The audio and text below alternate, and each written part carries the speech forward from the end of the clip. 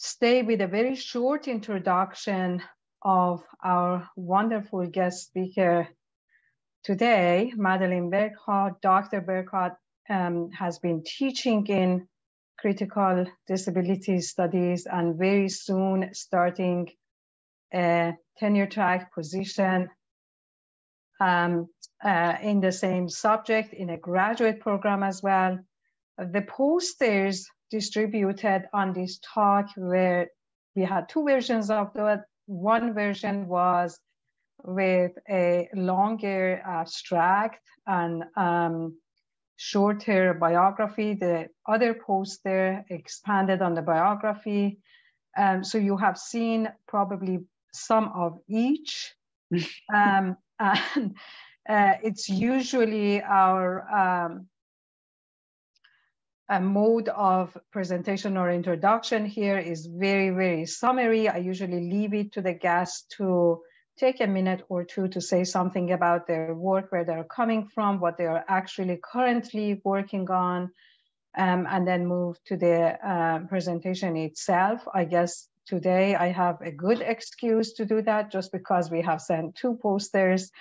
Um, but regardless, I think um, we are in good hands. Uh, the I'll just say something about the background to uh, the reason I decided to um, bring this into the context of a classroom topic. Uh, the students in this class um, have been putting up with me for quite a few weeks right now on um, a course entitled Law, Disability and Technology. So we have looked at the different aspects of the different kinds of intersection between law, technology, and disability and try to expand of, under, of our understanding beyond just questions of accessibility, which is um, the questions that are mostly introduced as the only way technology and disability connect. The last item on our syllabus is about reproductive questions around disability. And there is no other uh, more qualified person than Dr. Burghardt uh, presenting on this topic. And it was quite a serendipity that right when I was designing this syllabus and the course was being started, um, it was the beginning of the fellowship uh, stint of Dr. Burghardt with us. Um, I was as excited to organize this as I was excited to read um, Madeline's application for this fellowship earlier on in the summer. And so uh, for me, so it's been a subject long in expectation, and I very much look forward to learning from you, Madeline, today. With that, I guess I leave it in your hands. If you could please very quickly, maybe a minute or two, say something about your past work, your ongoing work at this point, and then we get to the topic uh, feel free to uh, uh, speak for about an hour or an hour and 15 minutes or so, and we can leave some time for questions. That would be great. Thank you, Hengema, so much. And thank you, all of you, for welcoming me today to this time with you. I'll introduce myself very briefly. I just want to also say Hengema was um, when she said there's no better person to speak about this, that's not actually true. But I'm going to uh, engage with this topic with you this afternoon because it is of great interest to me. Um, so, as Hengema mentioned, I um, I have a PhD in critical disability studies that I got at York University. I've taught in the critical disability studies graduate program at York University at the master's and PhD level in those streams.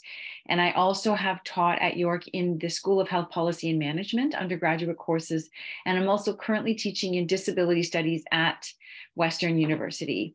So um, those are my areas. Um, my area of research to date has primarily been with people who have been labeled with some kind of intellectual disability. Um, my doctoral research was um, I worked with people who had uh, survived being institutionalized in long stay institutions in the in the province of Ontario because they were identified as having an intellectual disability. So I did um, a project with those survivors as well as members of their families to really explore um, people's own experiences of institutionalization due to being labeled with a disability, but also the experiences within the, the families. And so that was my doctoral work. So this project that I'm working on right now is a little different in some ways. It is still very much a relational study where I'm trying to um, understand the ways in which this particular phenomenon that I'm going to talk about this afternoon has affected families, but also really digging at some of the historical ontology of these things that have happened in the last hundred years in our history that directly affect people with disabilities, people who are labeled with disabilities, but also uh, people in their circles. So it's connected in that way. It's, a, different group of people. Um, um, but it's of interest. So what I'm going to do is pull up my slides and uh, then we can get started. So can everybody see my slides and can you hear me? Just wanna make sure. Can you, yes. Okay, thank you for the um, indication that you can hear me and see my slides. If at any point any of that starts to um, become shaky, please let me know. And as Hengama said, I I have, I don't know exactly how long my talk will be. Certainly, I think it'll be within an hour, and then we'll have lots of time for discussion and questions.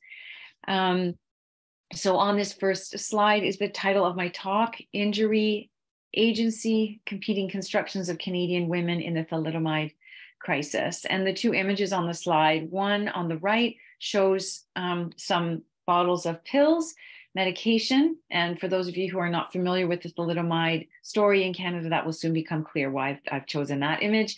And then on the left is sort of an abstract image of um, what looks like a, a woman holding a child on their hip, sort of an abstract line drawing.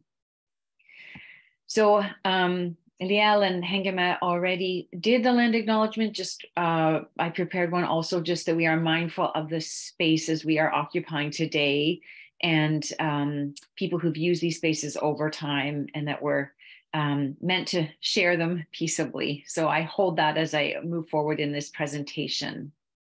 I also really want to acknowledge the support of a, this, um, a SSHRC Insight Development Grant that has really helped me with this research, and also, of course, to the Institute for Feminist Legal Scholarship at Osgoode, which has provided me the space to do some of this writing and thinking and, and research, and also lots of academic collegiality over the past several weeks. So I'm grateful for everyone there. So what I really want to do today is first of all, just provide a summary of the thalidomide story in Canada for those of us who are not familiar with it. And um, I just need to give a little disclaimer at the beginning is that this is a huge story and due to limits of time and also expertise, I'm going to be, everything we talk about today is me um, scraping the surface of what is there. Um, but my real goal this afternoon is to interrogate the whole context around the story, what was going on at the time of this thalidomide crisis, primarily due to the time period, looking at the post World War II situation, what was going on in people's homes, the domestic world, um, but at the same time looking at women's increasing agency during this time period. So I'm interrogating the context with a focus on women who are involved in this story and, and women who were living in Canada at the time. This inevitably takes us to a, a conversation around um, women's reproductive rights and access to abortion. That actually is part of this story, or it feeds, it informs the discussions around access to abortion and abortion rights. So um, we will get into that. Um, the conversation also inevitably leads to some discussion about drugs, pharmaceuticals, and the idea of a brave new world. And through these explorations, I'll be talking about implications on women, implications on our understandings and representations of disability. And then at the end, I just kind of try and draw some of that together and looking at how um, feminism and disability studies can inform each other. Maybe there's some productive potential there that we can learn from this uh, examination this afternoon. So I just want to make a brief note on language. The first is that uh, with this thalidomide story, you'll see on the title on this slide, I use the words thalidomide story. I, I've thought a lot about how to refer to this, and I, I still feel like I'm working through this. Quite often, the thalidomide story is, is referred to as the thalidomide tragedy or the thalidomide catastrophe. And sometimes I hesitate to use those words because of the negative connotations. And yes, this is a, it was a real scandal, and it had some vast, far-reaching, and damaging implications and effects on people.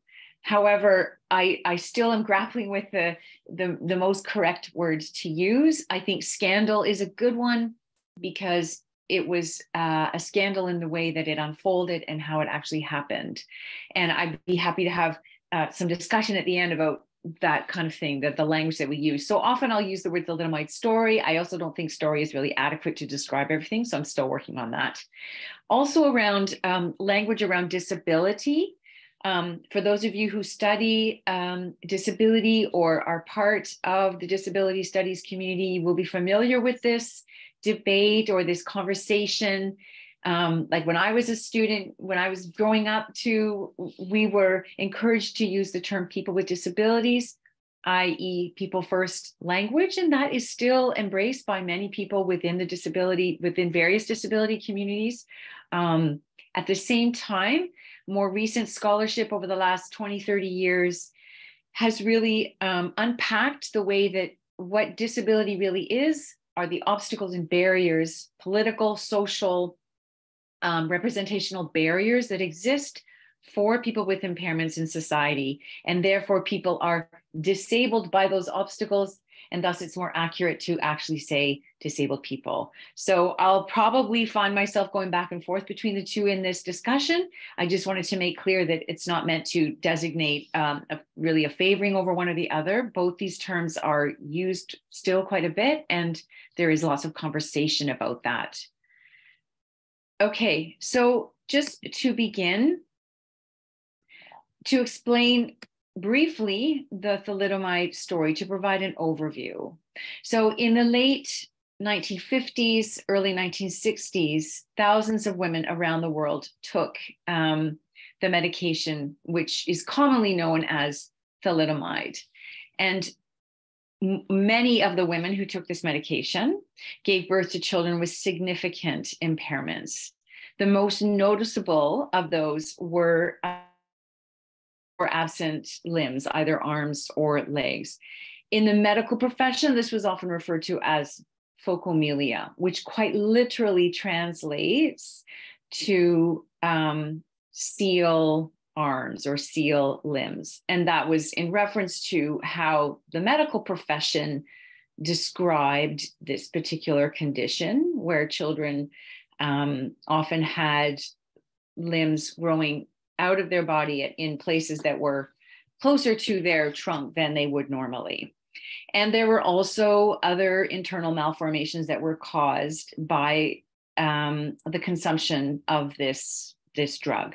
Uh, some children had heart issues, heart defects, or defects of the ears, um, digestive system, etc. And what is interesting here is that people who survivors of this have noted that the physical complications from this continue to manifest. It, it, wasn't sort of they were born with with these conditions and, and that was it. They are not static. They they actually um, have developed and change over time as well.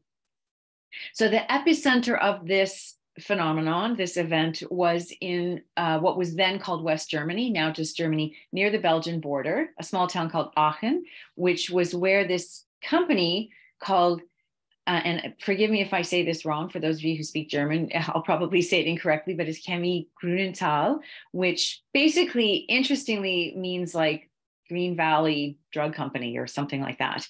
Anyway, I'll just refer to it as CG from now on. So this this pharmaceutical company um, was a post-war business that uh, developed in the wake of the Second World War. Um, that was making, first of all, just herbal medications and body products and things like that. And then they started to branch into actually making medications.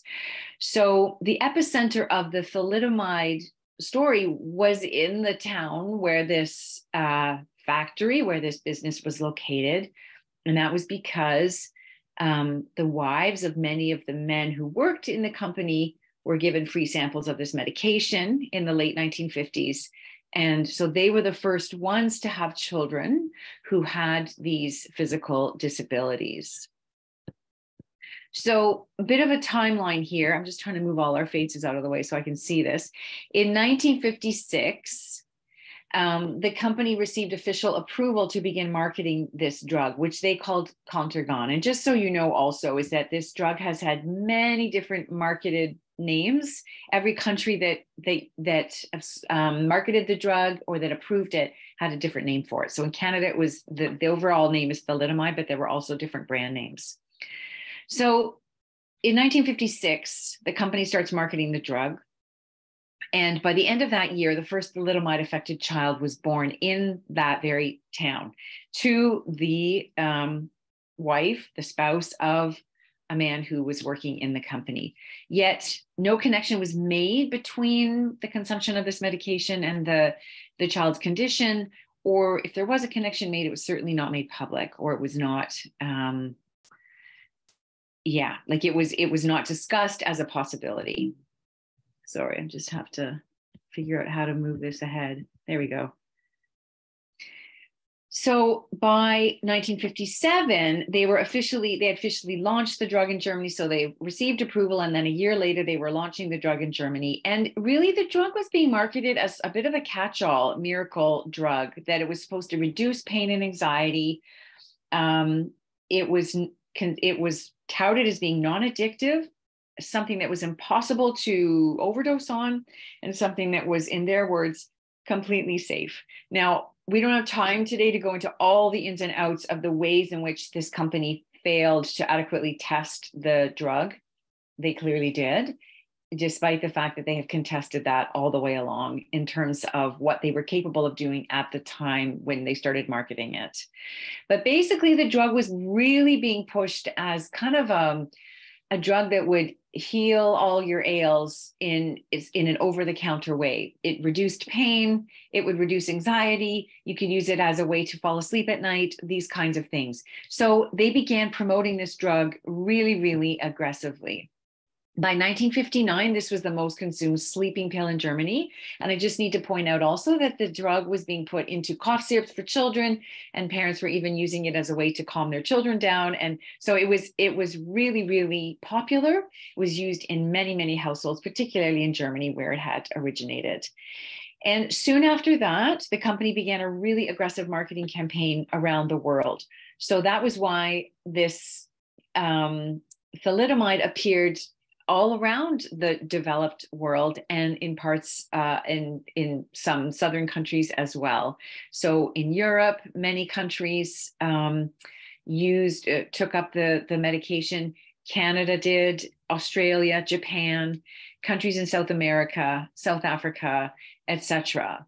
And um, what was this was what some of the earlier researchers began to notice when there was when they were trying to figure out what was going on, when the children with impairments started to be born, some people wondered if it was some kind of virus that was happening. And then some researchers said, well, viruses don't actually really stop at borders. As we all know, over the last three years of our life, viruses do not stop at borders. So it had to be something that was specific to each of these countries where this was being observed, right? And that was when they started to zero in on the the realization that it must be connected to something that was common to all these countries but would stop at borders. So that was one way that they started to figure out what was going on. So in sorry again i just have to move my slides a bit so it was officially introduced officially approved and introduced into the canadian market on april 1st 1961 so this was a few years after it the drug had been marketed in Germany and in other parts of the world. So Canada was a relative late comer to this uh, medication, and it was marketed in Canada as something called Kevadon. And there were two different companies that promoted it in Canada. One was based in the United States, Richardson Merrell. That was mostly in English speaking Canada. Then there was a different company based in Montreal, Horner, that was promoting the drug in Quebec. Well, if you look at the timeline, it doesn't, it's not surprising that the first known thalidomide affected child was born the next January, January 20th, 1962. So you can really see the close connection there in terms of timeline. So the the other thing that's really interesting about this, if you go back to the previous slide, you, Canada approved it and started marketing it in 1961. This was in spite of the fact that as early as 1960, doctors in different parts of the world were starting to notice some bad side effects from the medication, right? Um, there was a doctor in Scotland who wrote a letter to, um, I believe it was the, either the British Medical Association Journal or the Lancet. I'd have to look up which one, because he noticed that patients who'd been taking thalidomide for an extended period, like several months, were starting to experience something called neurasthenia, which is like, you know, when you get tingles in, in your extremities, and there were other neurological signs that all was not right. And the doctor believed that it was because of this drug, thalidomide. He started to um, write about this and publish about it. The company really, really pushed back. Um, the Chemie Grünenthal really disputed that there was any evidence that it was directly related to the drug. But after enormous pressure, they began to put warnings on some of the packaging that maybe people would experience side effects if they used the drug for a long time. But there was still no connection, no warnings about women who were expecting not taking the medication. But then um, around the same time, a doctor, pediatrician in Germany, whose name was Dr. Lenz, he began to notice a, a, really rapid increase in the number of births of children with impairments in this small part of Germany where he was living and working. And so, together with the dad of one of the children who had been born.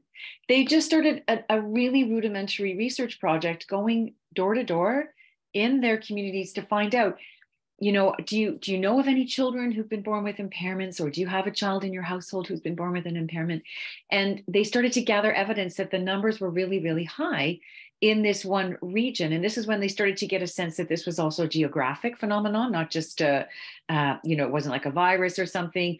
And the doctor started to make connections through speaking with the mums that they had consumed this medication and he started to, to make some conclusions about this.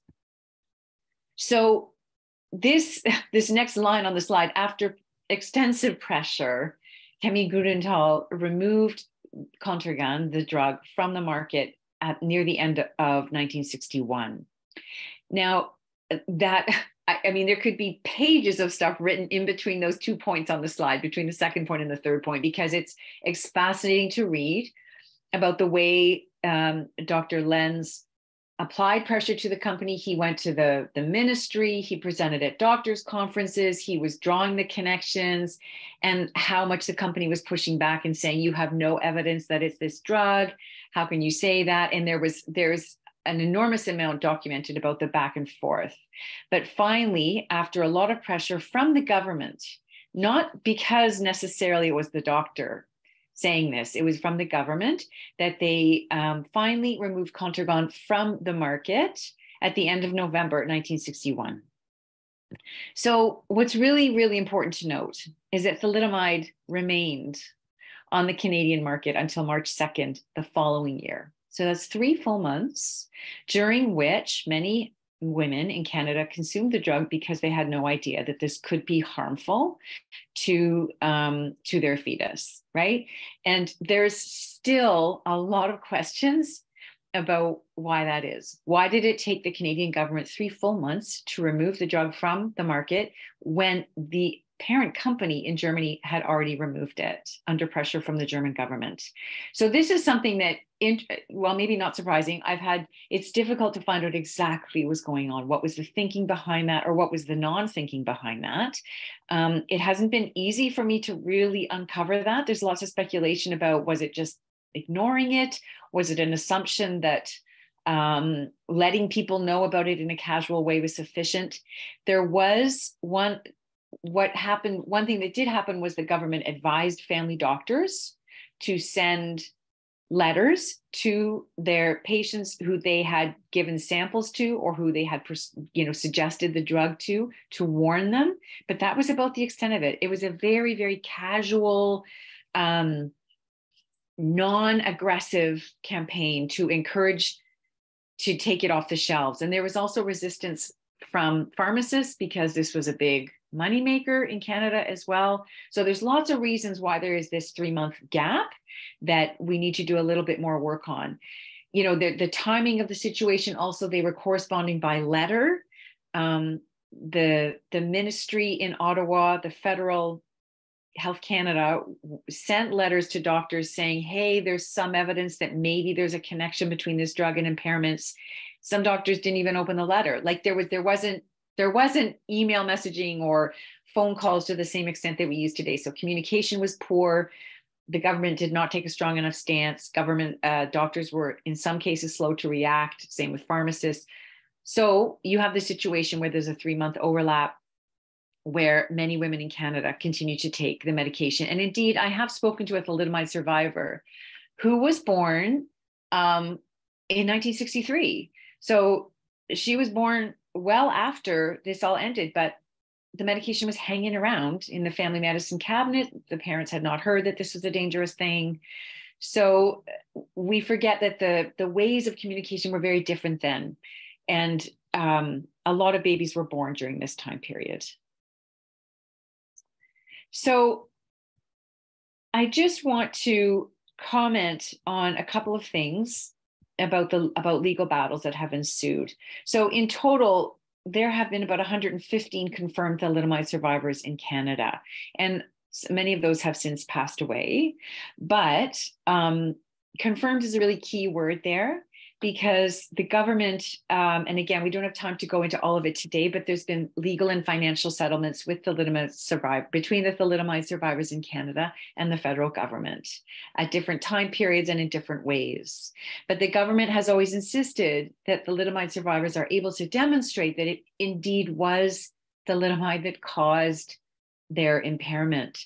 Um, and so, as you can imagine, that involves a lot of paperwork, uh, confirmation. Usually, that meant the mothers had to go to their doctors to for the doctors to confirm that indeed it was thalidomide that they had given the mother or suggested she take, etc., and that that was what had caused it. So, if the doctor was no longer available or wasn't so willing to confirm that, that could raise complications for the family as well. So it was not always straightforward for families to confirm that indeed this child had been affected by thalidomide.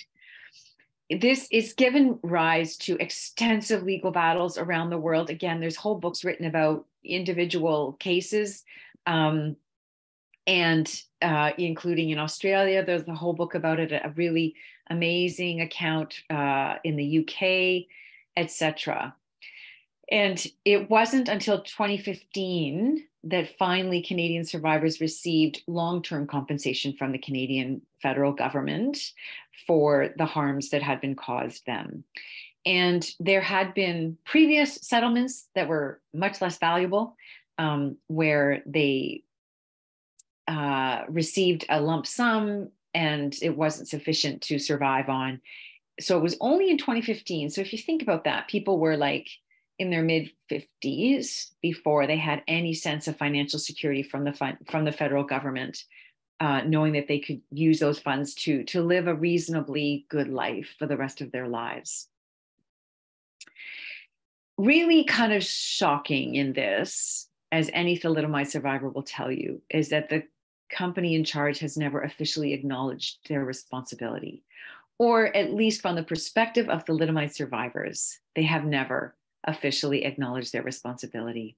In 2012, they gave a formal apology. And so I've taken a little bit of the text from this apology here on the slide, and you can see what you think. but the, the, the person in charge of the company at the time said, we ask for forgiveness that for nearly 50 years we didn't find a way of reaching out to you We ask that you regard our long silence as a sign of the shock that your fate caused in us. So you can see from those words, they never actually acknowledged that they were responsible. They asked for forgiveness that they hadn't reached out to them. And they said, We were quiet because we were shocked at what had happened to you. So it was a very, very roundabout way of not really saying anything. So all, all of you who are law students might um, enjoy looking at that full apology and kind of tearing it apart and seeing what was actually really going on there. Obviously, the, the company was protecting itself.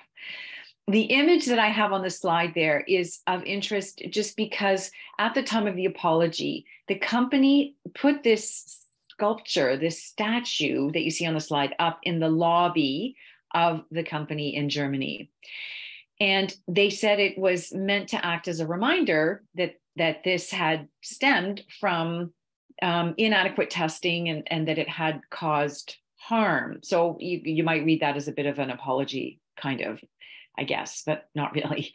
But what the thalidomide survivor, I spoke to a thalidomide survivor in Germany, and what she told me is that this sculpture, the one on the left of the the child sitting in the chair, was actually not originally designed and created for the thalidomide survivors, that it was uh, something that a board member, now I may not have all the details absolutely correct in this story, but it had something to do with someone who was connected to the company, um, had a friend who was an artist who constructed this sculpture and it wasn't originally intended for thalidomide survivors. It was for somebody else but then when the this person from the company found out that this sculpture was available, then they they asked if they could use it for this monument in the lobby. So even the statue itself, the thalidomide survivors are saying it, it wasn't even really created for us. So there's just a sense of deep hurt and anger against this company and their unwillingness to fully acknowledge their role in this story. Now, I see there's a chat. I just don't know if um, okay, so maybe we'll look at some of the chat things later. Sorry, I just don't want to get distracted. Okay, so next, what do we got here? So I just want to point out that this story, the thalidomide tragedy, has been discussed a lot. There's a lot of writing out there from legal perspectives, which mainly focus on issues of culpability, like who is responsible and why. Also, political perspectives, like to what extent were governments responsible? How did governments also fail their citizens in this story? And also, medical perspectives um, and scientific perspectives, like what this drug actually was and the damage that it caused, etc. And on this slide, I just have a whole list of just some examples um, for future reference. These are examples of some of the things that have been written thus far about the thalidomide story. And if you read some of the titles, you kind of get the sense of where most of them lean, right? So the thalidomide catastrophe, how it happened, who was responsible, and why the search for justice continues after more than six decades. That's a long title. It kind of tells you what their focus is, right? So a lot of focus on what happened, who did what, and who did what when. So there's a lot of writing about from that perspective so a lot of them have examined issues of culpability, responsibility, who's to blame, etc. And if we think about that also, that really assumes a rather hierarchical or juridical framework where base, you know, we, we're viewing people in power as hurting and harming those with less power. And I just want to point out also, if we go to the previous slide, that all of these works are written by men. I'm just that's just an observation I've made is that a lot of the work that's been done thus far that examines this from a real legal and culpability perspective has been written by men, and I just find that really interesting.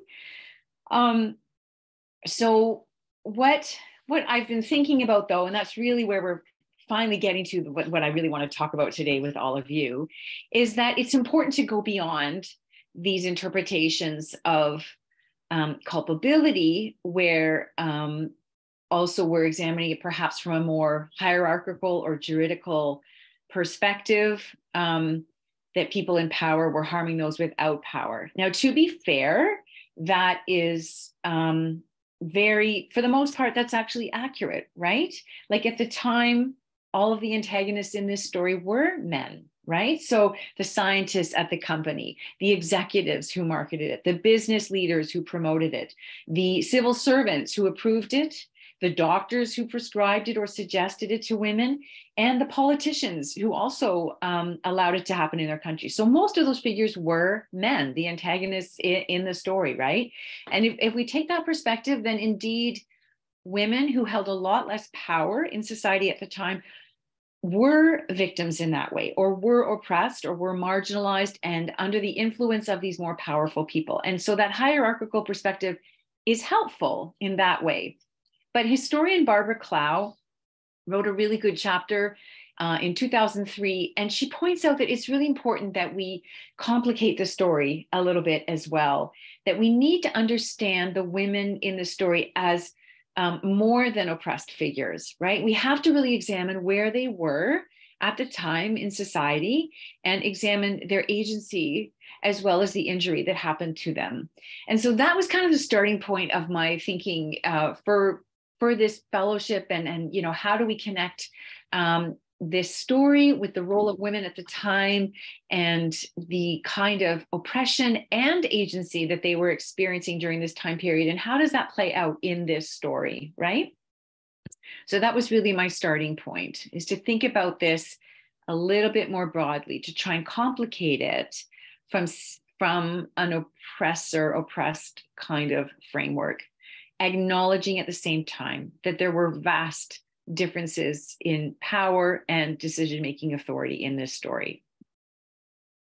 So, my goal was really to situate women at the center of the story and try to examine what ha- what that positioning actually tells us. What can we learn by putting women at the center of the story and then examining what's kind of revealed to us through that positioning, using both feminist and critical disability studies inspired lenses.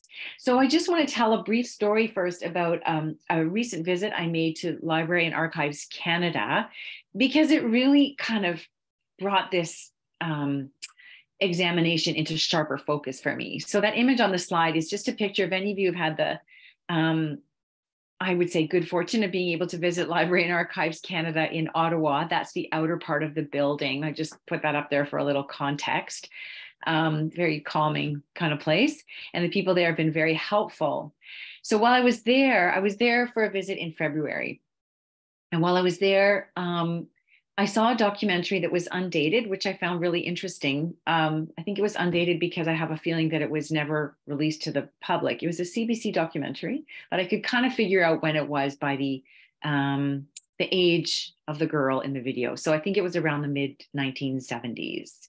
So I saw this documentary, and what it did was it featured conversations with a few key players in the Canadian thalidomide story. So it included the doctor who was who founded uh, the rehabilitation programs for thalidomide affected children in Canada, uh, particularly in Montreal. It also included the dad of one of the thalidomide survivors. And it included the person who was the head of the what was then called the Food and Drug Directorate of Canada. And it also included the federal Minister of Health. And all of those people spoke at length about their interpretation of the thalidomide tragedy, um, its causes, the effects, what had happened, and what needed to happen moving forward. So there were three other people who appeared in the documentary.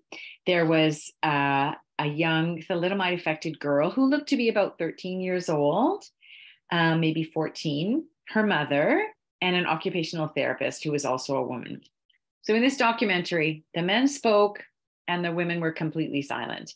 And I was just really struck by that. So you've got this girl who is the only one in the film who's actually experiencing this, and you've got the mom who's also directly implicated in the story, completely silent. So all the people who spoke were men with power, most of them the federal minister of health, um, the head of the Food and Drug Directorate, and this doctor who was leading up the rehabilitation program so okay that could be interpreted interpreted as reflective of the gender norms of the day you know men were presumed to be experts on public matters of national concern and could speak on women's behalf quite adeptly. Um, but I also felt that this unbalanced interpretation or this unbalanced representation could really be interpreted as emblematic of a lot of the, the record on the thalidomide tragedy, right? That this was just a really interesting example of the kind of understanding we have of the situation and who has facilitated that understanding, who has led that. So I think it's important to position women at the middle and try and understand what what does that reveal to us? What can we learn by doing that? So we can learn about changing interpretations of um, what women are responsible for, what women are capable of. It starts to shed light on constructions about capacity and incapacity, responsibility, agency, ability. It also really, if we think about that maxim from, you know, um, women's movements for decades now, is that the personal is political. Well, this story is really takes us to the very end point of that that phrase right the personal is political and i think along the way it kind of pushes us to reckon with some kind of tricky uh, uncomfortable tensions along the way, such as the tension between individual and collective responsibility, between private lives and public lives. Um, also, like how much are we all responsible for certain things that happen in society? And um, also, I think really importantly, and most for our purposes today, the story gives us a lot of insight into cultural perspectives on disability and on feminism's sort of relationship to disability and the disability community in that. Okay, so so I want to now dig into exploring the context that happened around this story. And again, on the slide is just that abstract image of uh, a person holding a child on their hip. So first of all, I want to talk about the post World War II context. This is when the thalidomide phenomenon happened, right? The thalidomide tragedy unfolded in the wake of the Second World War. So there's a couple of really important points that we need to be attentive to around that. The first is that, um, uh, sorry, just got to see it. Here we go. Is that this was a time of recovery and rebuilding. There was rapid um, economic and technological growth happening around the world. And I just want to point out that Germany, which is the country from which this drug originated, was being encouraged to develop at a really rapid rate. Um, that charge was really being led to a great extent by the United States that wanted to see Germany as being a strong economic partner. In other words, there was there was a lot of support to get Germany back on its feet in a, in a good way. Um, sorry, that's a kind of an ableist expression. To get Germany functioning again in a good way, um, in a strong way after the war, so that it would be less dependent on allied countries for its recovery and for its functioning. And also partly because the United States in particular was heavily invested in Germany being um, a bulwark against Soviet communist expansion. Remember, the United States was really, really worried about um, you know, this is the beginning of the Cold War. They were worried about Germany, uh, sorry, Soviet Russia expanding. So they wanted a strong Germany. So what that meant, without going into a ton of detail, is there was not a huge amount of oversight when it came to some parts of the German, German economy. This is an example of an area where there was not a lot of, of, of sorry oversight, where development was being encouraged, um, but they were not being adequately checked, right?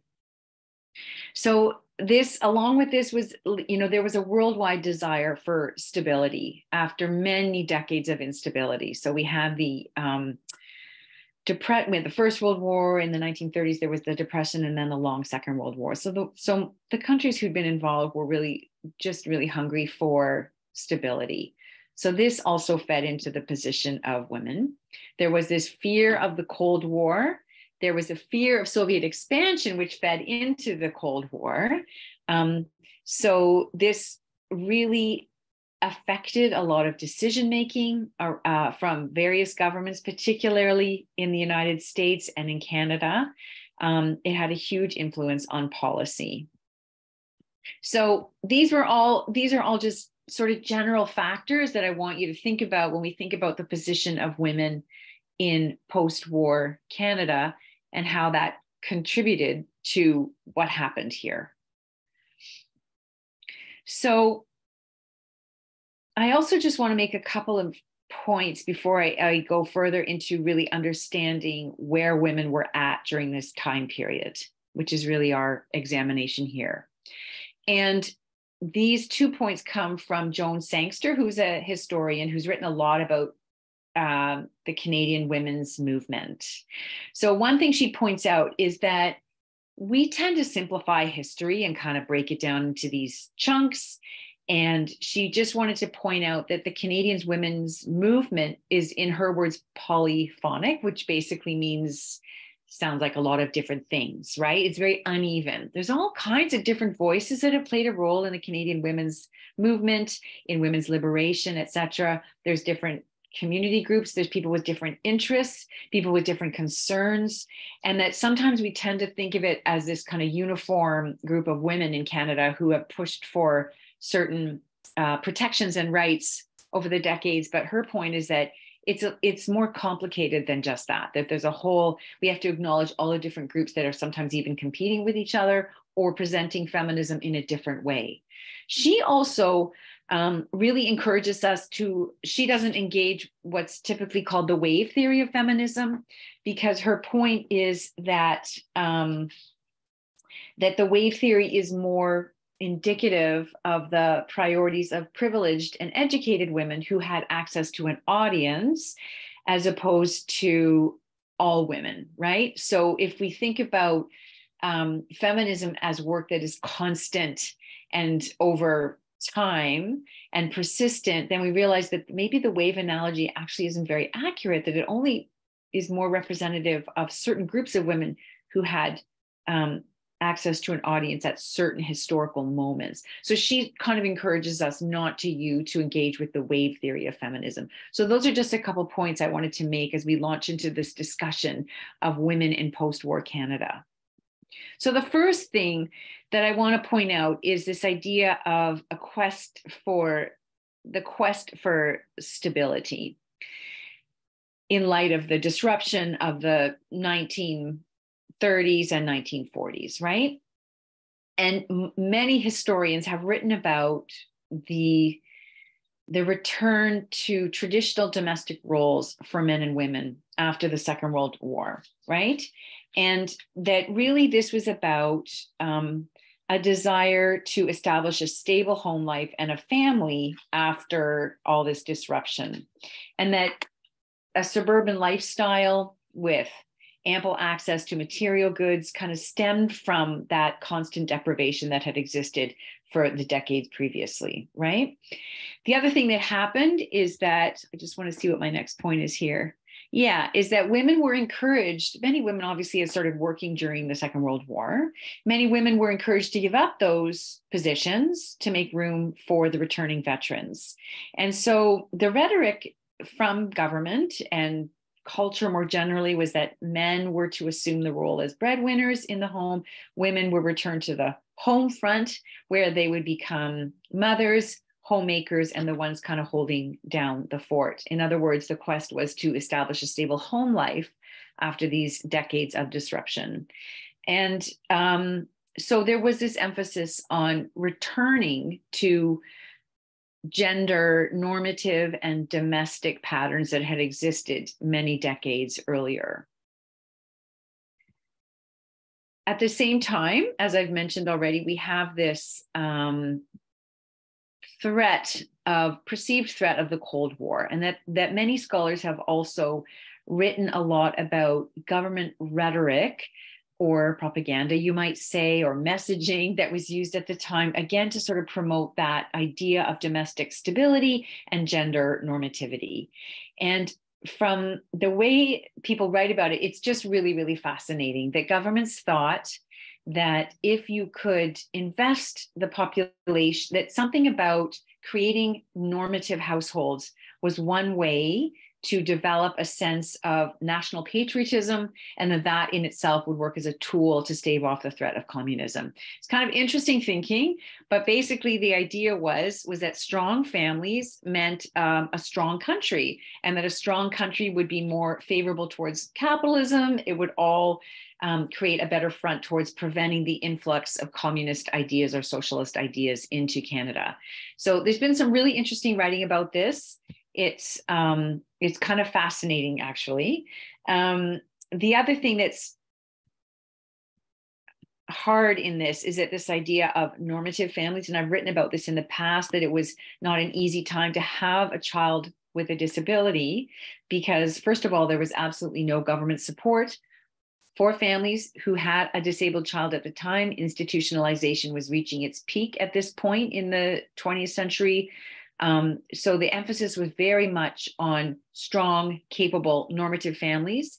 At the same time, there was also targeted attacks on people who identified as queer within the Canadian Civil Service. There's been a lot of work on that as well that has shown how the RCMP targeted um, people who were suspected of being queer because the government deemed them as threats to national security, deemed them as being potentially more vulnerable to the ideas of socialism or communism, and thus they were really targeted. This is very much a Cold War, a way that the Cold War was lived out in Canada. So there was very, very normative rhetoric going on um, that you know filtered down to domestic life as well. Men were to be the breadwinners, public life. Women were the private um, at the home front, taking care of children, trying to raise healthy, normal children. So that was kind of um, that's very roughly put, but that's what was being encouraged at the time. Now, if we assume that framing of post war life, which is what a lot of historians have written about, then it's easy to um, appreciate that women were oppressed in many ways during this time period, right? That they didn't often have a lot of say in the way um, the home was going to um, happen or in their own dreams of, uh, of a life outside the home was not as easy to recognize. They had to fight for rights and equal recognition, all those things. So if we use this framing, this return, this quest for stability, return to domestic norms, etc., it does help us understand that idea of women's oppression. But at the same time, and this is the point that Barbara Clow really makes in her article, is that there's there's evidence of women's agency that's developing during this time period as well right? So at the same time you've got women who are organizing in mid 20th century canada. And actually it started as anti-war activism. This is really really interesting is that the first sort of um, in the middle of the 20th century that that uh, time period, the expression of women's activism, a lot of it was was anti-war.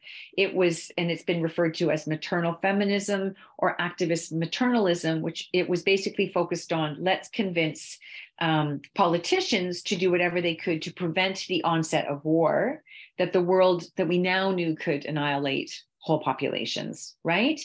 Um, so war if we think of this, it's kind of interesting that war was an organizing feature of both the return to traditional domestic arrangements, but war was also the instigator for some women's agency and protest and, and resistance. So I find that kind of interesting is that you can sort of see war as a unifying theme throughout all these things, both women's oppression, if we want to call it that, the return to traditional arrangements, which maybe not everybody defines as oppressive, but but also as um, as an instigator to women's anti war activism.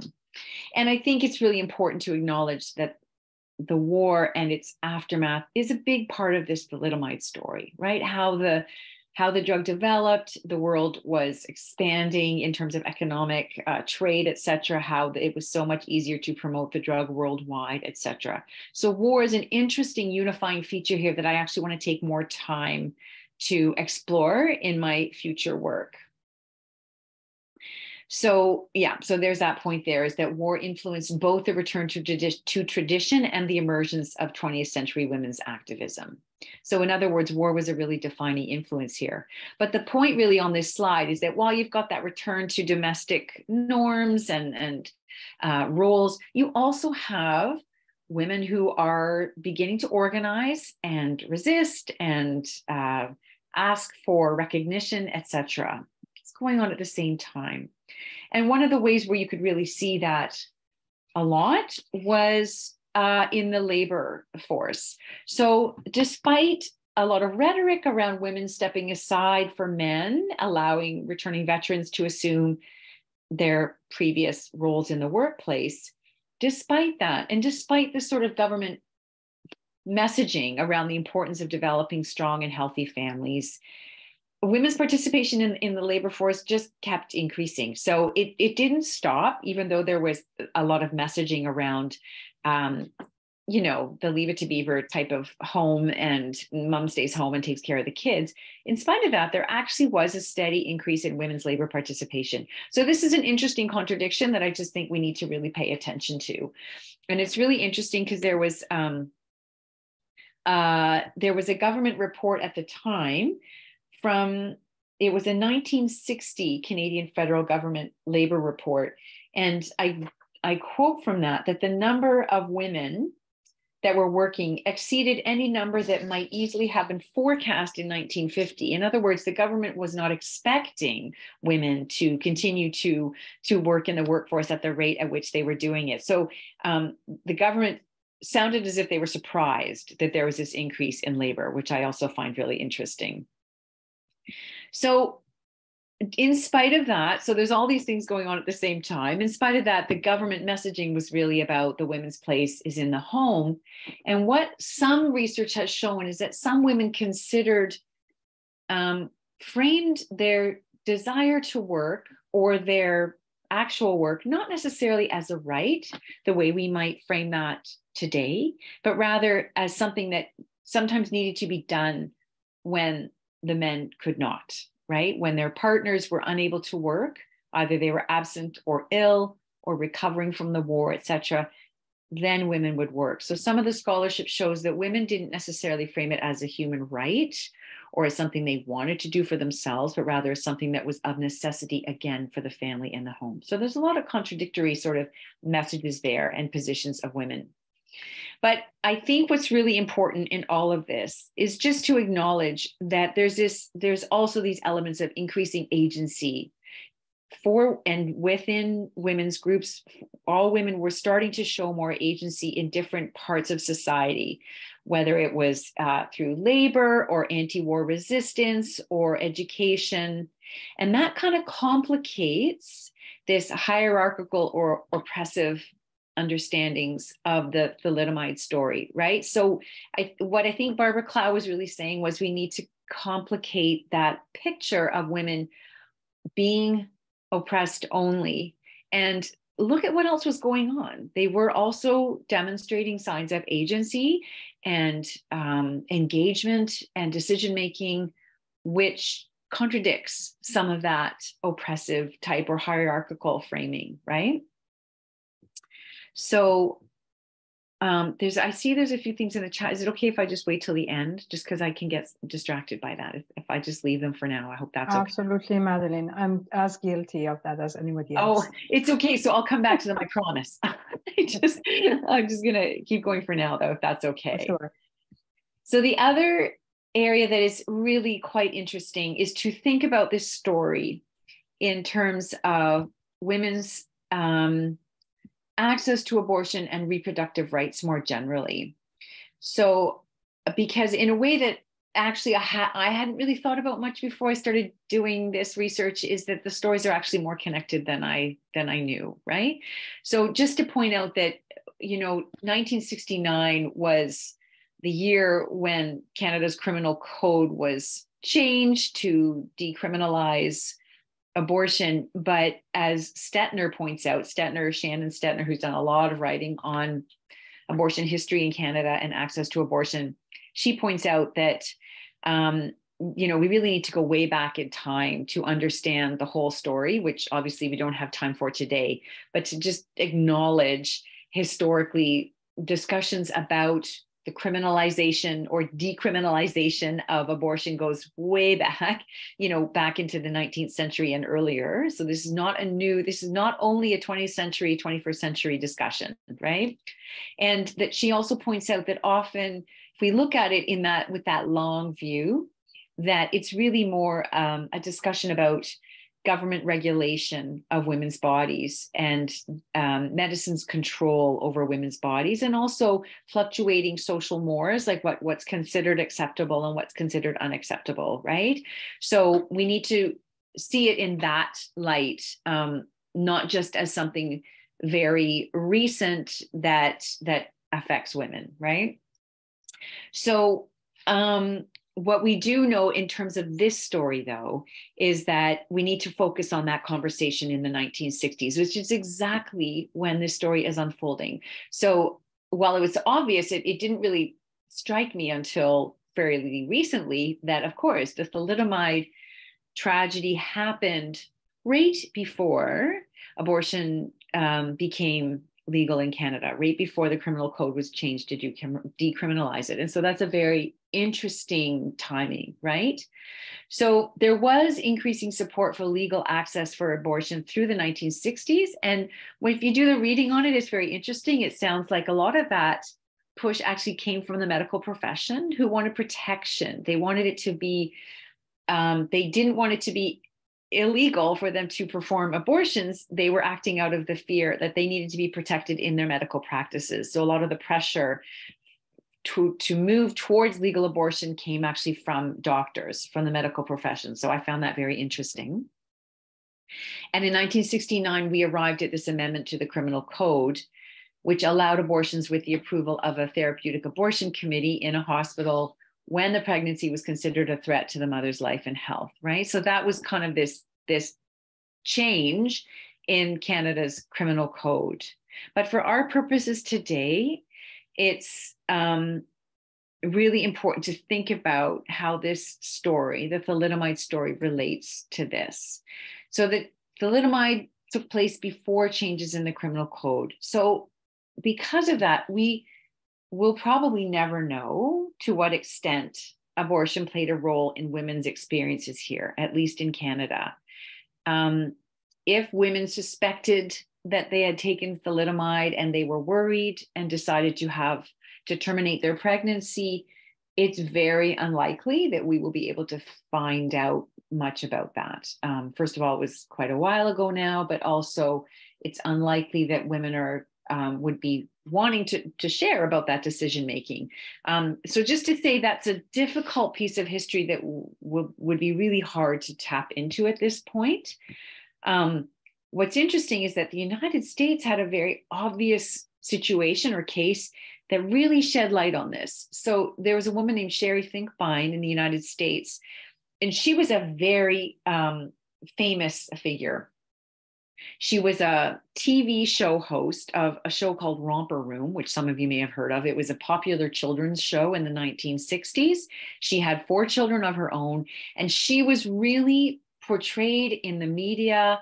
She was a celebrity of that domestic idyllic lifestyle. This was a mom who had four children. She was beautiful. She was engaging. She was charismatic. And she happened to be the host of this very, very popular children's TV show.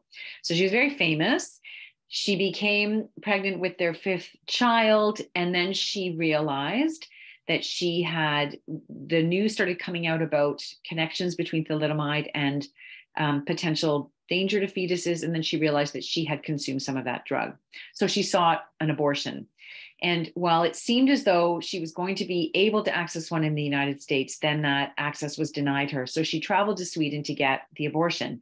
And this was a huge story in the United States, with many people um, criticizing her and her husband for seeking out an abortion um, out of suspicion that they were concerned that the fetus might have impairments. There were other people who came out um, in support of them. So it was a very, very public event, very um, uh, contentious, I guess, a lot of argument on both sides. So that really brought that into the American conversation, which was interesting because thalidomide was actually never approved in the United States formally. Yet there were many children with thalidomide caused impairments born in the United States through things like free samples of the drug, etc. That's a whole other story. But there's we don't have an equivalent story in Canada where a woman was publicly known to have sought uh, to terminate her pregnancy if she suspected that she had consumed thalidomide. So we don't have the similar a similar um, that point of exploration in this area, right? But what's really interesting is that thalidomide played a really key role in arguments that came after this in support of legal access to abortion.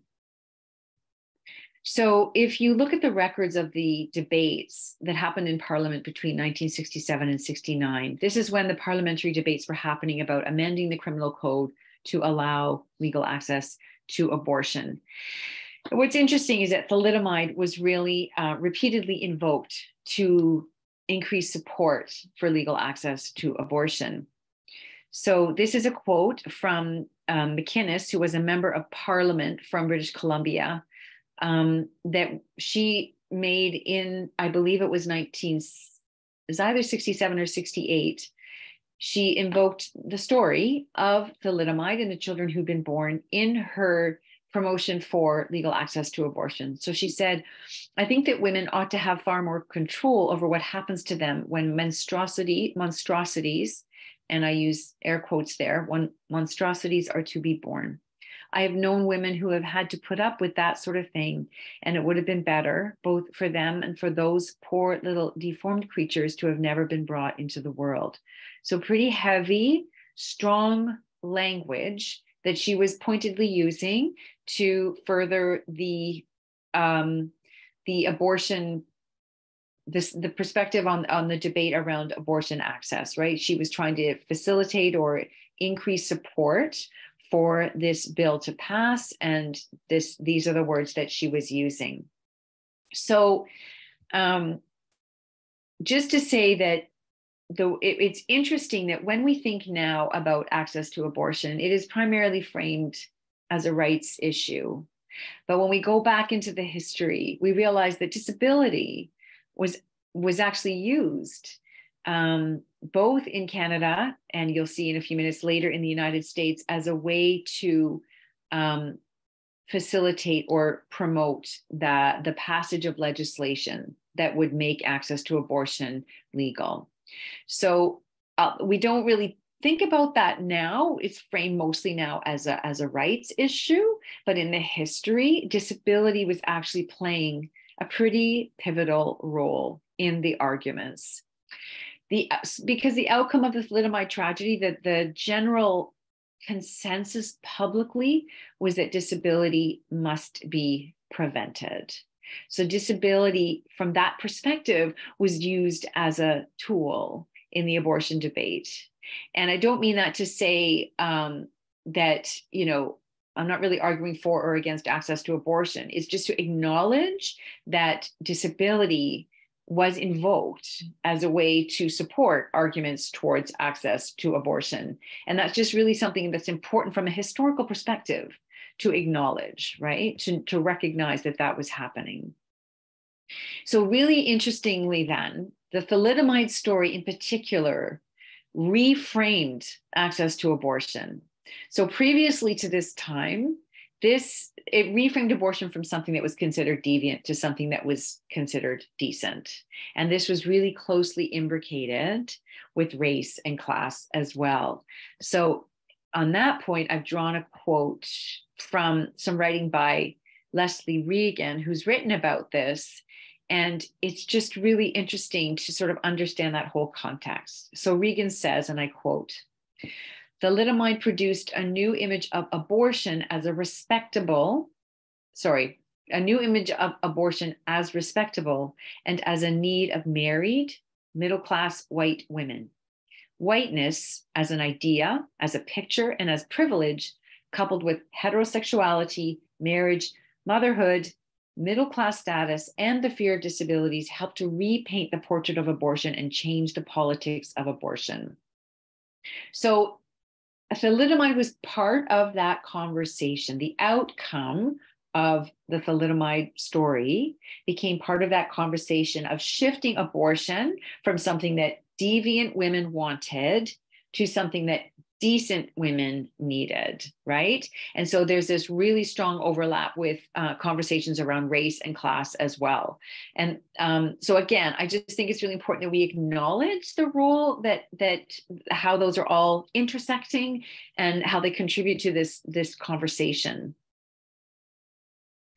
And from that point onward, what Reagan and others have pointed out is that disability also invoking the thalidomide tragedy has also been used as a tool to promote public health messages about prenatal and postnatal care. And a really good example of that is the German measles scare in the United States, which immediately followed the thalidomide story, where um, women were being cautioned against contracting measles. They were called rubella or German measles uh, for fear of damaging the fetus. And they in that public health messaging, they would again remind people of the thalidomide tragedy. Remember what happened there. You don't want that to happen here. And so you need to take precautions, et cetera, et cetera. So again, I'm not arguing against public health messaging. And of course, I'm, uh, you know, I think prenatal care is obviously an important um, thing to be attentive to. But what we need to acknowledge is that disability historically has often been invoked to facilitate that messaging and to facilitate different arguments. So when I've been thinking through this, and this is just something I'm sort of coming to over the last few days, I want to spend some more time with this, is can we consider the thalidomide story as um, an instigator, sort of one of the like, or like a template to future conversations on the still fraught relationship between access to abortion and disability. So I don't know how familiar the students are right now with sort of that um, historically not always uh, like productive and yet sometimes contentious relationship between um, uh, feminism and access to abortion arguments as well as disability rights arguments. It's it's a conversation which is ongoing and productively it has a lot of productive potential but it's also had um, contentious phases and sometimes is is fraught still. So i think that um, this story can help us in those conversations but also historically to think about the thalidomide tragedy as it, it's being it has been used as a template or sort of a model of how to argue for certain health measures um, because of the threat or fear of disability. And I just think that's something really important to pay attention to. The last thing I want to just talk about before we move into the, the concluding parts of my talk, and I thank you for your incredible attention. I realize I've talked for a long time, is that um, is the rapidly expanding pharmaceutical uh, industry after the war. But I also want to talk about drugs, not just sort of legal pharmaceuticals, but also illegal drugs and how that culture expanded so much after the Second World War. And I put on the slide that this is a nexus between women's agency and paternalism. And um, the reason I said that is because uh, drugs is one area or pharmaceuticals where I feel that women were sort of um, a little bit caught in the middle between those two forms of being interpreted, right? Whether they were um, paternalistically being looked at as incapable or also taking agency in their own lives and doing things that they thought would help them feel better, right? So it's just important to acknowledge that um, there was, you know, along with the rapid development that I spoke about earlier, there was a lot of technological development after the war, a lot of medical development, economic expansion, and this included the pharmaceutical industry. At the same time, along with all these sweeping, sweeping advancements, this uh, scholars have written about the increasing anxiety in the population. Right, there were, although the Second World War was over, and um, generally people were living economically more secure lives, etc. There was also the cold, the threat of the Cold War There were nuclear and communist threats. There was change because of the civil rights movements and the women's movements, which made some parts of the population anxious. There was also sort of peaceniks, people resisting war, people resisting the Vietnam War, etc. And along with this increasing anxiety were concerns about increases in suicide. And in addition to all of those advancements, we also had people like Aldous Huxley. He was the author who wrote Brave New World, the, the end of the 1950s. He even wrote a, a published piece in the UK about the potential for mind altering drugs to advance society. So you've got this kind of um, all these different factors uh, together, creating the idea that maybe pharmaceuticals and drugs can play a role in this new modern society. So, first of all, there was the actual corporate development of pharmaceuticals, but there was also public, sort of secular use thinking maybe this was a good way to deal with some of the anxieties of the modern age, including very public figures like Huxley. So, thalidomide kind of filled that niche. Like, I'm not sure how much um, sort of visioning around that the, the company did in Germany that developed thalidomide, but certainly it filled a niche around we have these drugs, we're going to meet the needs of an anxious population, and thalidomide was marketed as a drug that would help to do that. And the company was really clear was that you could not overdose on thalidomide. So therefore it minimized the risk of suicide. They said it was non-addictive. They also said it was completely safe. And of course we know now that that was false advertising and they had not done adequate testing. But thalidomide really fit into that post-war um, quest for expanding humanity, but also dealing with the anxiety of the age. So it's interesting because thalidomide kind of plays both side of this this part of the story, right? So there was this modernity and nervous conditions that went along with modernity. Thalidomide was essentially a tranquilizer, and women were often, especially if they were pregnant, were considered as needing it.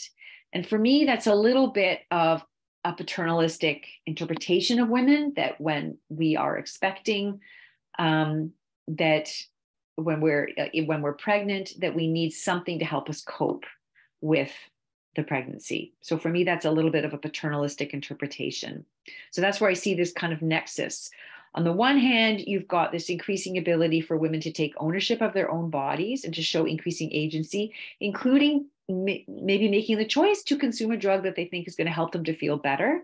And on the other hand you've got women who were deemed as needing something in order to cope. And there, are, there are a few mothers that I spoke with and a few thalidomide survivors who speak about consuming the drug because their doctor said this will help you feel better. This will help you to cope with the anxiety of being pregnant with your fourth or fifth child or whichever one it was, right? And sometimes husbands recommended to their wives wives that they that they try it.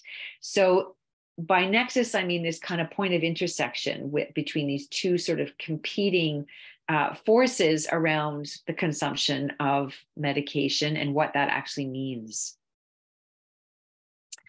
So, kind of stemming from that, I'm just going to now just draw a few simple conclusions before I finish. And again, I thank you for your incredible attention.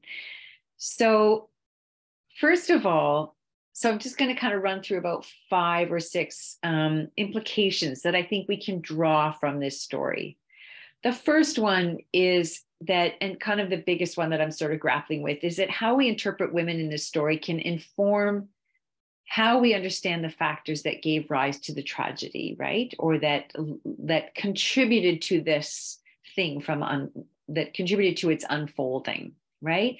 So one is that when we acknowledge that women at this time period did have increasing agency and were starting to make decisions about their own well-being and we're making some choices this complicates that framing of perpetrators and victims. It complicates the story of who was responsible and who was oppressed in this story and who were the victims. And the reason i think that is really important is not to say to start um, necessarily spreading blame around. That's not really what I'm talking about here. What I'm talking about is that we need to understand um, how how do these bad situations arise in the first place? If we think about the ways in which some people gain power, for example, sometimes the easy way out is to say, well, they were bad people and bad people supported them, and that's how they became powerful. But we have to acknowledge it's more complicated than that, right?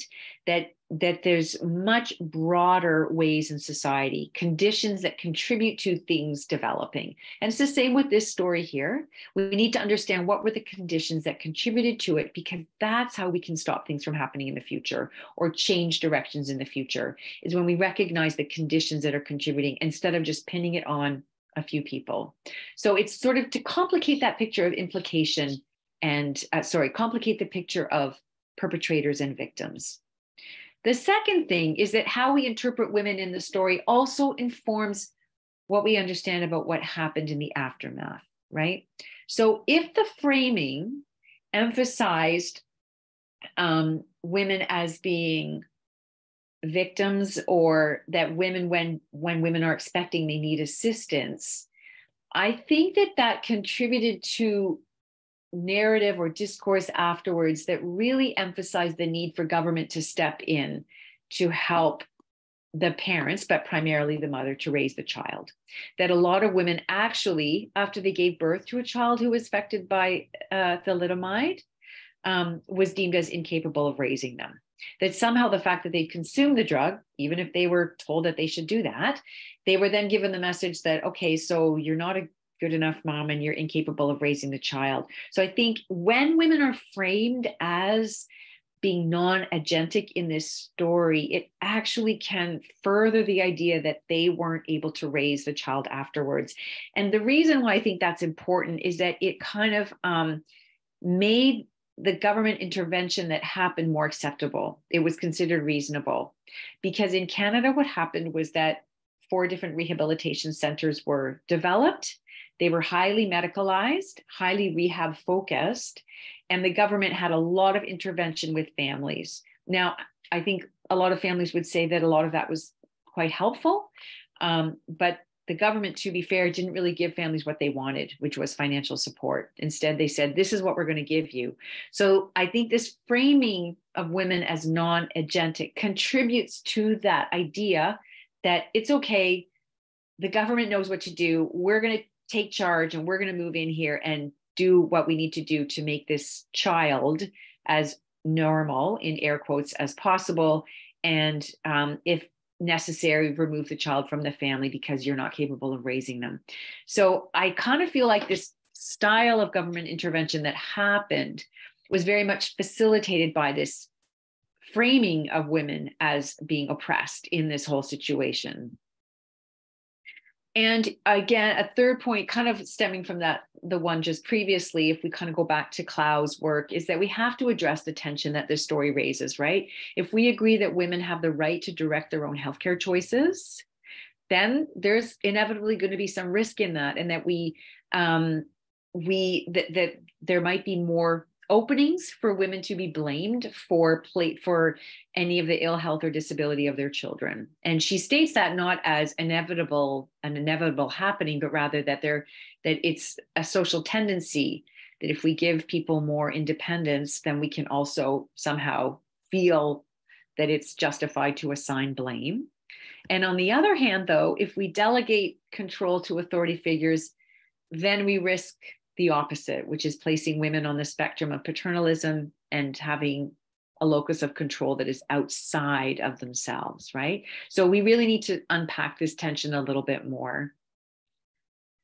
I guess my question is after reading Clow's article is just to think about is there a third way? How do we think about alternate ways of viewing and understanding women's position in this as, as opposed to just being victimized um, and blamed for something or somebody who doesn't have any agency. So, um, anyway, so I kind of feel like I want to explore whether there's a third way there. the, another point is that this really does expand our discussion and understanding of the history of access to abortion from one that is rights based to one that includes the idea of avoidance of disability. And that whole conversation really solidified existing tropes of disability. And um, it also, when we think about disability being seen as a problem, it um, solidified the public's felt need to rely on government and the market to solve this problem of disability, right? So um, when disability is invoked in abortion access arguments, it can kind of perpetuate those historical tropes of disability being a problem and uh, sort of justify certain approaches to it. And also, just really interesting, and this is more from a um, disability studies perspective is that thalidomide survivors don't necessarily identify with what I put in quotes here as the conventional disability rights movement. Um, their interpretation of rights has primarily to do with prioritizing the right to be compensated for what happened to them, right? So there, there's less of the sort of typical disability rights movement that's been put forward by the social model over the last 40 years, and rather thinking about it differently that they were harmed and therefore they should have access to financial compensation so they can live a reasonably good life, right? And I just put a point there at the bottom. We don't have time to get into it today, but this aligns with really emergent critical disability studies scholarship, for example, by Jasbir Puar, who has write, written really provocative work on she's worked in war zones around the world and she's interviewed people who have been injured through war and she she observes that some of the people in those situations do not identify as disabled necessarily but they identify as victims of war in other words um, someone who has suffered because of human error or human instigated actions. And so thalidomide victims actually are in a similar situation um, that they were, their impairments were brought about through, um, you could say, corporate greed, bad decision making, powerful structures, etc. And so it's really interesting that Puar's work on war I think aligns really closely with this, this group of people um, that falls outside the typical disability rights movement discussions. And just to say finally that I think this there's a lot of productive potential in this story because you know there's a lot in the thalidomide story that overlaps with other work that feminists have already done. So things like disciplining bodies, normalizing bodies. When we think of the rehabilitation that a lot of my children had to go through, um, and seeing bodies as a social and political issue as opposed to a medical one. It also brings up uh, thinking around the creation of impairment through profit making, through capitalism. And that's often to be found in what I call eco disability studies, feminism intersections, right? So, all I'm saying here with this slide is that I think there's a lot of potential for really productive future interdisciplinary scholarship even just using this one story as the starting point.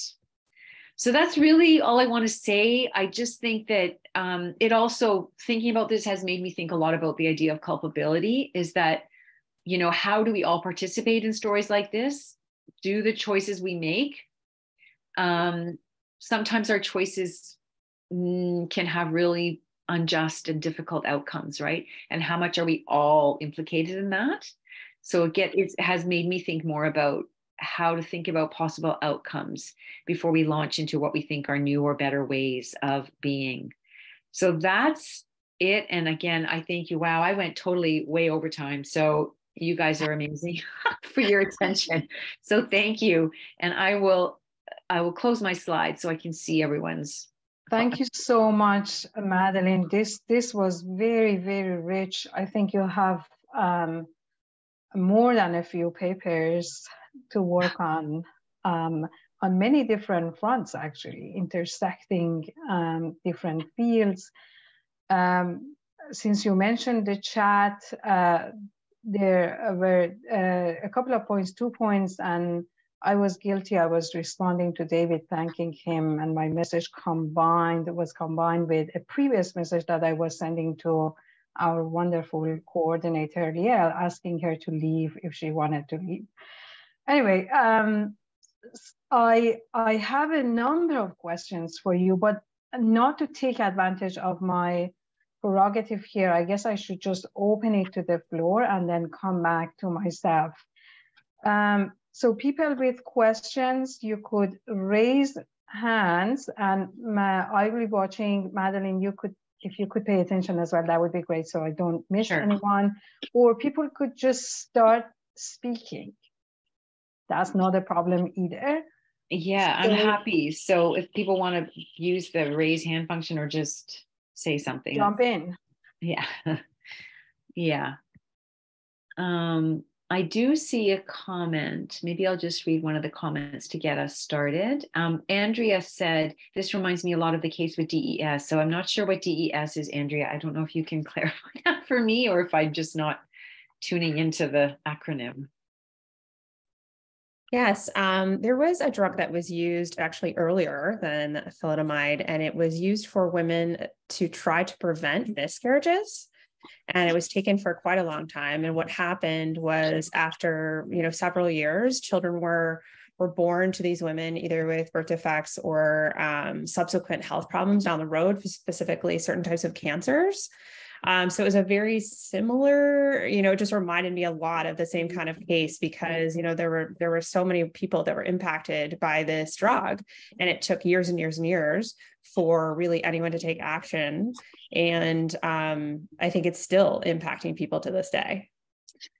Interesting. Um, and just an aside from Andrea's comment too, is just to say that thalidomide is still being used in different places of the world. Um, it uh, we didn't have time to get into it really with the talk, but it was approved as a cancer treating um, medication in the early 2000s, which was it's a whole interesting other conversation that the thalidomide survivors in Canada had to speak with representatives from the pharmaceutical company that wanted to bring it back as a cancer treating agent, and it's also been used to treat um, leprosy.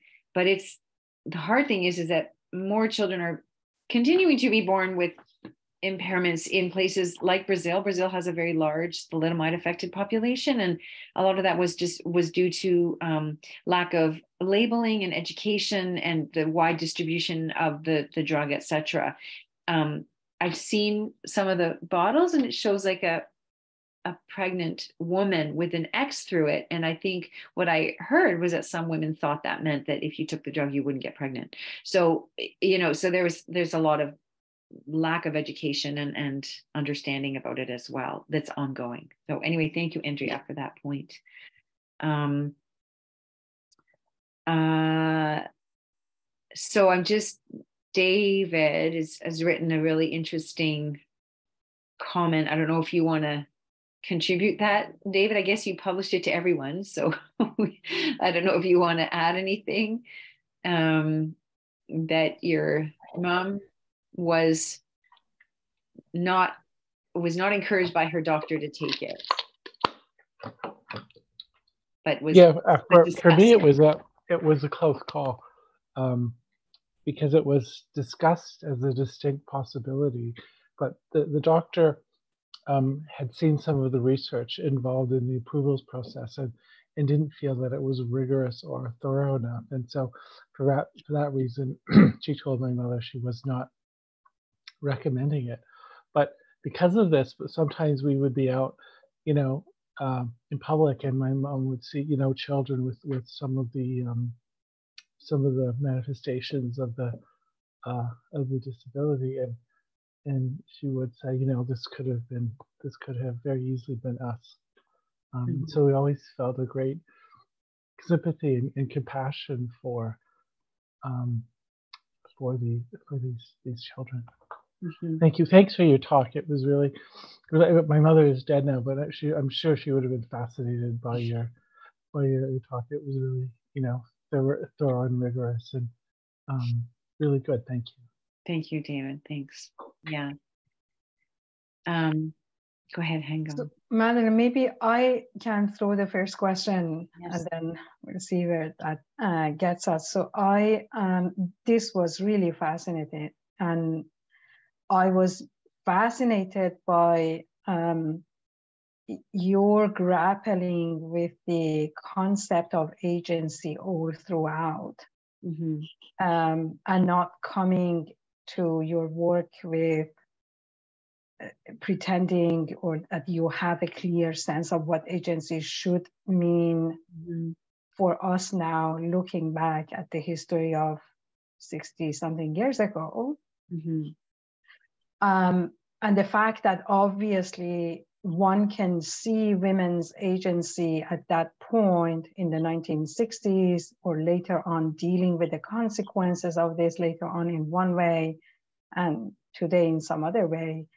Uh, what possibly could helpful, and it may not, uh, could be helpful is to consider that this is the same struggle one could have with the abstract concept of agency when you think about government regulation, almost in any domain, right? Mm-hmm. We tend to think that it's more serious when it comes to women or mm-hmm. to some other quote unquote, presumably vulnerable group. But let's just I'm just making this up. I don't know how it would fly, but let's just think of the impact of smoking, right? So let's just assume that there are differences between different kinds of cigarettes. Mm-hmm. And so one particular company has come forward with a product that is actually more harmful in a much more serious way or in more serious ways than we already know about the general uh, use of the um, uh, of the general basically uh, consequences of smoking. And then let's imagine that you know now 10 years later we have learned that actually this particular brand has led to various kinds of cancer or different um, difficult illnesses. And now we need to figure out what the regulator, the society should have done, the government should have done in this particular context. And then let's imagine that, you know, either by coincidence or because of particular branding, this particular brand had appealed to a particular segment of the society. Let's just assume that is appeal to people between 20 and 25, right? We would probably be facing the same question of whether the government should have taken a more mm-hmm. forceful approach just because the target group, the market for this product was a younger market that mm. could be influenced more easily or not. Mm-hmm. So obviously, this is a question of degree when we are talking about in the context of women, because of our conceptions of the vulnerability of women. Uh, mm. We tend to think that this is an easier case, but maybe it's really not, right?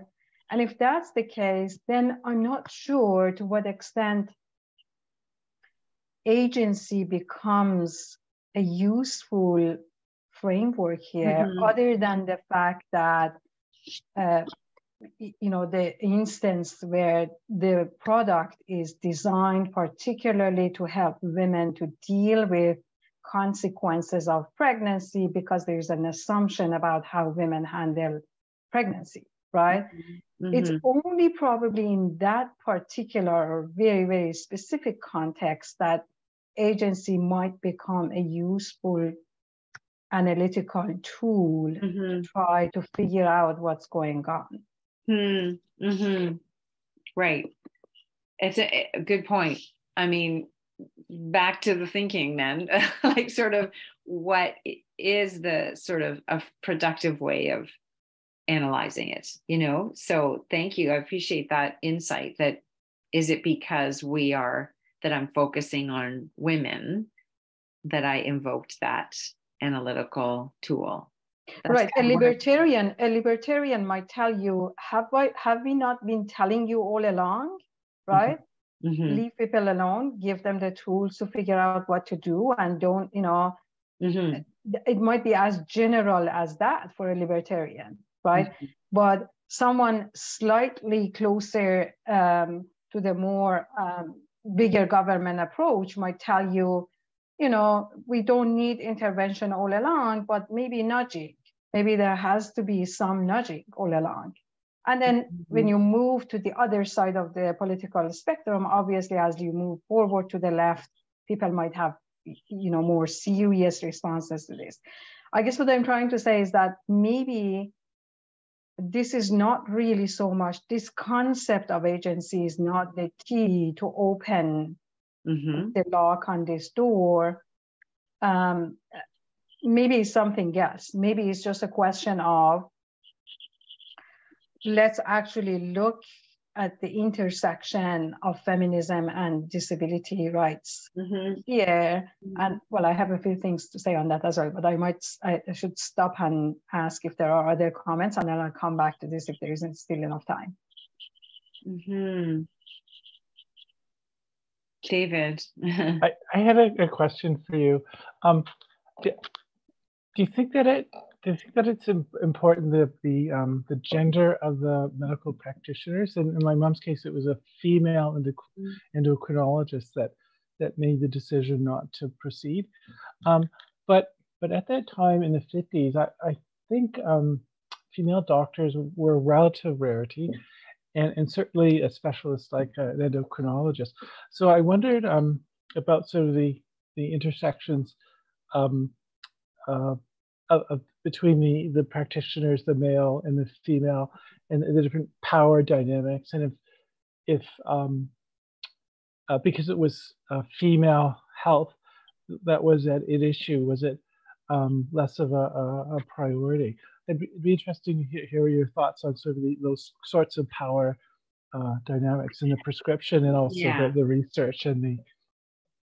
Well, certainly, I mean that you can't i mean you can't help but consider to what extent um, that might have played a role in the way conversations were happening and how decisions were made um, you're right that the vast majority of doctors were not women during this time period but in terms of actually knowing the extent to which that had an effect i don't know that we'll ever find out for sure because um I mean that is anyway it's a good question and sort of worth exploring. Like I do know that one thalidomide survivor spoke to me about his mother's doctor being a woman who had also recommended that that the mom take this medication. So that might have been a rare case but certainly that did exist you know what i mean? So i think it's worth looking into that but then also thinking about what Hengameh just said like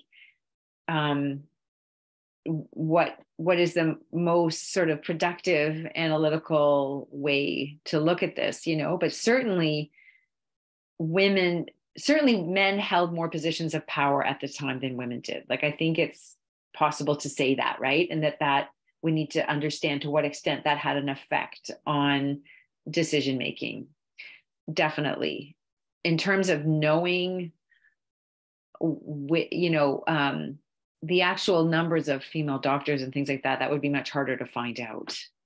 So i know that doesn't really directly answer your question. I've certainly thought about that as the medical profession being dominated by men for sure during that time period and having a great great deal of influence they were really trusted in ways that we can't even really comprehend right now 60 years later in terms of the, amount of power that they actually held. I mean, this was a time when doctors also held political positions. You know, ministers of health were often doctors at that time. So there was an enormous amount of influence coming from the Canadian Medical Association and Health Canada as well. So good question, David. I'm sorry, I'm not giving a really fulsome answer to it, but it's definitely worth considering. And I see that Catherine also has her hand up. Right. So this isn't a fully formed thought yet, but in terms of you know leaving room for women to have agency maybe also like holding space for the women who genuinely did have very difficult pregnancies that mm-hmm. had conditions that required treatment rather than you know classifying them all as paternalistic views of mm-hmm. you know women can be a little bit anxious when they're pregnant and remembering you know there can be debilitating morning sickness mm-hmm. and mm-hmm. it was uh, prescribed for that use and um, maternal depression and stuff like that that there mm-hmm. are also genuine uh, medical issues that some of them needed to have solved absolutely yeah you're right and and i didn't get into that much in this talk at all but certainly that was a reality for many women is actually being uncomfortable and seeking some kind of uh, relief from that and that this was offered as something that was considered safe right? So yeah that's a really good point catherine. Thank you to just remind us of that. Um, i also see one from susan. Um, so i can just read it out loud i guess in the chat susan unless you want to say it. Um, I also wonder how women feel that they are able to access supports. Oh, there you are. Hi, Susan. I don't know if you want to say your question. Um, yeah, I don't know how good my my audio is. Can can people hear me? Yeah. Mm-hmm. Hi. Hi, everyone. I'm a colleague of Madeline's. Uh, Madeline, thank you so much for at least your talk was really great. Um, yeah, I, I think it echoes the the comment before. Um, also, just uh, I think current, I mean, we're, we're in 2023 and um, women are starting to, to talk about just how, how ill uh, some women become during pregnancy and just really feeling uh, that they're not listened to. Um, and you know, we talk about that a lot in in healthcare. And then also recently, you know, there's there's more discussion happening even on menopause because that's been so dismissed as well. And you know, either a lot of fear mongering or um, uh, you know, oh, it's it's not that bad. And they always talk about some women just sail through pregnancy or sail through menopause, right? And they have no symptoms at all. Um, and then there's others who are just, um, you know, could use the word suffering, and um, and then they're also dismissed, or there's no interest in in uh, trying to to support them, even though that's a, a large uh, group of people. So I don't know how that the question of agency is interesting. I find because mm-hmm. I don't know how to answer it either, Madeline, but it's mm-hmm. it's gotten me thinking. Yeah, thank you. I mean, that's the whole thing about agency and and if that is invoked as a way to kind of understand this is that agency can also mean asking for help when you think you need it and uh, receiving it right? And making sure that you get what you need. So there's so many different ways to interpret it. Um, but I, yeah so it's it's just such a great point. So thank you for bringing that up again kind of similar to what catherine said. Mm-hmm. madeline as i was just um, uh, listening now to the uh, last question, an email came to my inbox, paternalism, public health, and the nanny state. How serendipitous is that one? That's interesting. So it's a question of regulation. Any other questions? So maybe I can take us back to what you were uh, very helpfully exploring on um, the um, superficially it could be considered to be a contradiction, maybe a tension, but as you were also saying that maybe it's more complicated than that. Between um, what now we consider to be the disability rights movement and what then was the social demand for abortion. Mm-hmm. Mm-hmm. And so as I was listening to, I was thinking that, and that's partly why I uh, started by saying that you have a bunch of papers out of this mm-hmm. subject, um, is the clash of social demands that sometimes very conveniently we try to capture under identities, right? Mm. And so when people talk about identity politics, they actually talk about the fact that these social demands become so political and at times politicized and mostly look at the tension between uh, those demands and whatever that is opposing those demands, right? Put it on left, right, or whatever other uh, political polarization that you may want to imagine for that. But in fact, when people talk about identity politics, there is something a lot more important captured by that, and that's the internal contradictions between these different demands. Mm-hmm. And so it's very interesting. I don't know if this is part of your thinking or that's even another angle that you are looking to explore as you're uh, continuing with this um, subject, that to what extent actually our role today as historians of social movements, what you're trying to do, um, is only to highlight those tensions at the time. It's another aspect of it to consider, as uh, you very correctly identified as an important factor, or is it something that is actually inspiring what we are doing today? Mm-hmm. Because if it's inspiring what we are doing today, then a lot of what, you know, these days, again, very conveniently, we try to categorize under equity could actually be at odds. Mm-hmm. Wants or desires could be at odds with one another. Mm-hmm. And so, just in the same way that those folks at the time were not cognizant of this tension, or they were, but the tension was not important, everybody was asking what they were asking for. We are not any more cognizant of the tensions running through the equity discourse in our time either. So sometimes I wonder how long it will take, you know, the future generation to look back at us and see these tensions. But the question is that beyond historical interest in these tensions, now that we have the hindsight of history, looking at what happened in the 50s and 60s and 70s, especially in the 60s and 70s, when different kinds of rights or rights movements were taking shape, what should that tell us mm-hmm. for what we are doing? Mm-hmm. Mm-hmm. Yeah, it's a it's that thank you. That's a really good um encouragement to kind of go further. I think um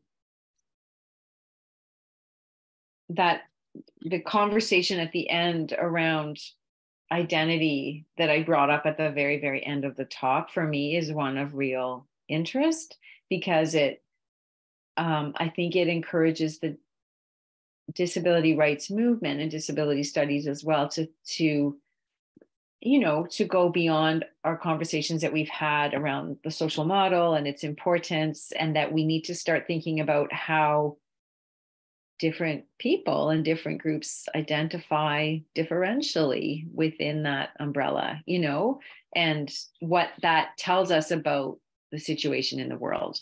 So i kind of when you say are we is our role as social historians to identify tensions or is it inspiring what we do today? I mean of course i would hope that it was the latter that it can inspire what we do today and that we get beyond just naming the tensions right? Um that's just that's a lot more work to sort of figure out how it can be applied to inform the way forward.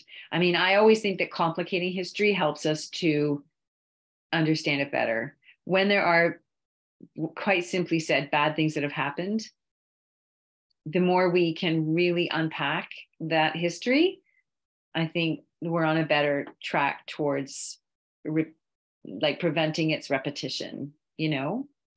Um, like, under, so I just think that's why I would prefer to complicate the history and try and really figure out all the different angles, even if it's incomplete, than to um, ignore that, you know? Oh, absolutely. And then that's the bedrock for, that's basically the platform for you to take the next step, right? Or anyone, someone else, right? That's the nature of scholarship that somebody else might use this work then to look at these interconnections and sometimes ironies in the complicated relationship between different identities in our time. Mm-hmm. Mm-hmm. Yes, I hear you. Good point. So thank you. thank you so much. Is there any other? We are. We have uh, exactly one minute left, but obviously I'm open to one quick question or point if there is anything left. If um, not. Hi, Professor. Do you think I yeah. could uh, chime Absolutely. in right here?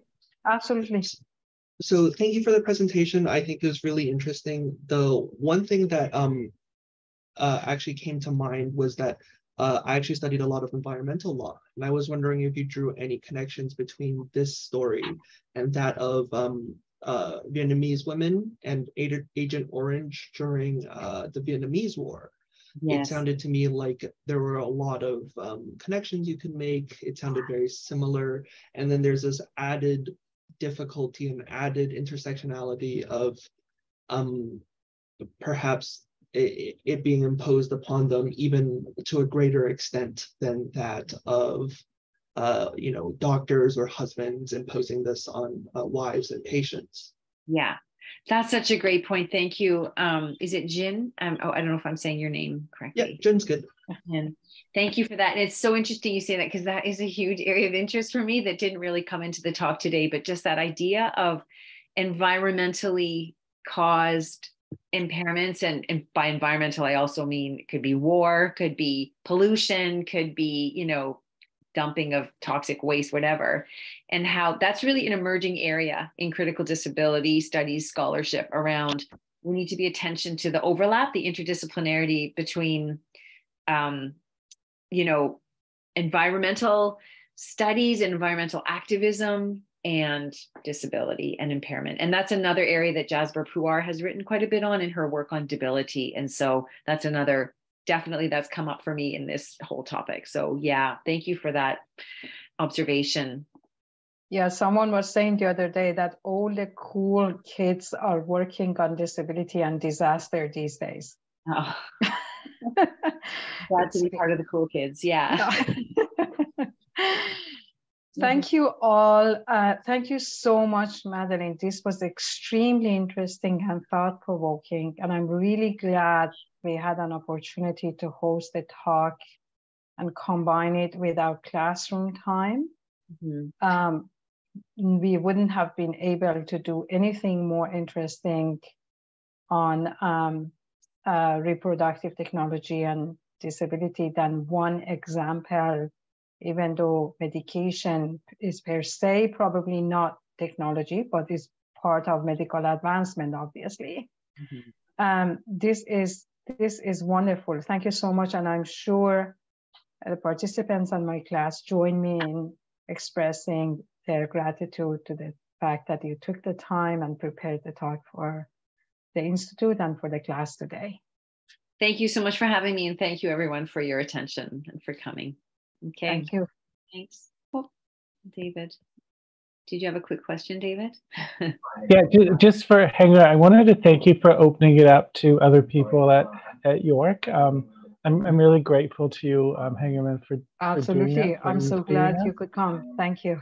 And and thank you, Madeline. I when I was thinking about um, joining CDS, um, I had uh, coffee with you many years ago, and, and oh, you were so now. helpful.